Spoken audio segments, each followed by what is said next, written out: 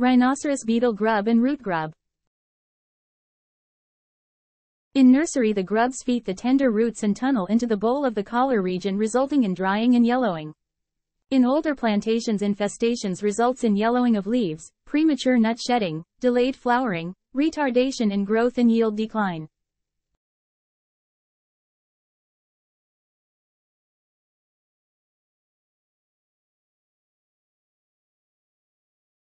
Plow or dig the infested soil synchronizing with pre-monsoon showers. Incorporate the entomopathogen i.e., fungus, Metarhizium anisopliae, in manure pits to check the perpetuation of the pest.